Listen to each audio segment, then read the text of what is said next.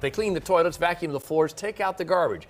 And at least one worker with 25 years on the job makes a mere $11.50 an hour. Yeah, they are the janitors. And today, the Kansas City Council passed a resolution urging building owners to include paid sick days as a part of an upcoming union contract. Fox 4's Jacob Kittilstved joins us tonight live from City Hall with more on this story tonight.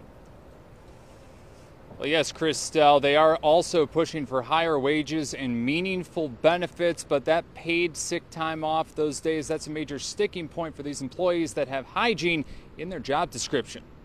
S-E-I-U! S-E-I-U! The Service Employees International Union Local 1 represents about 1,200 workers in Kansas City, including Sandy Hinson. We're not worried about the heat because we're cool right now.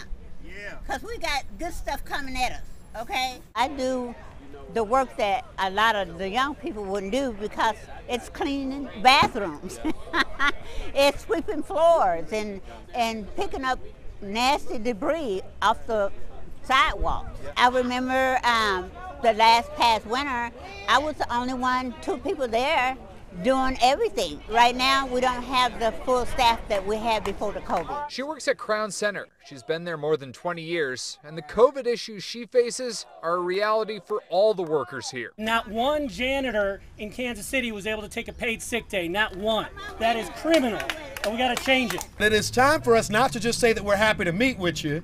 It's time for us to pass ordinances that support you, laws that support you, money that supports you, and a city and a state that supports you. The resolution approved by the City Council supports the union in spirit, but it's certainly no guarantee that demands will be met. If you say, oh, I'm nothing because I do this and I do that, that's not true. You're the best there is. Better paid will help me and also will help my coworkers. I make $11.50 an hour. I've been there for 25 years. So what did that say? Well, Hinson says that she has to sell baked goods on the side to make ends meet. These contract negotiations will be moving forward as the janitor contracts are slated to end in June. Jacob Kittilstved, Fox 4, working for you. For those of you